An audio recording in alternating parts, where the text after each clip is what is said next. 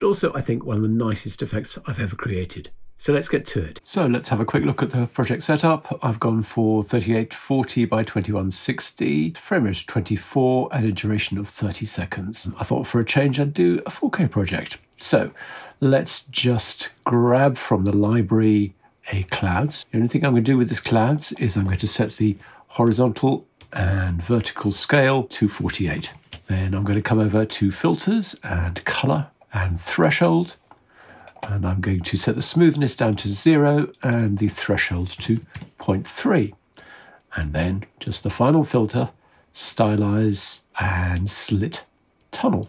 And then I'm going to turn the glow down to zero and the perspective down to zero. And there you go. Extraordinarily simple. Just one generator, two filters, and it looks very nice indeed, I think. And you're not stuck with this color scheme.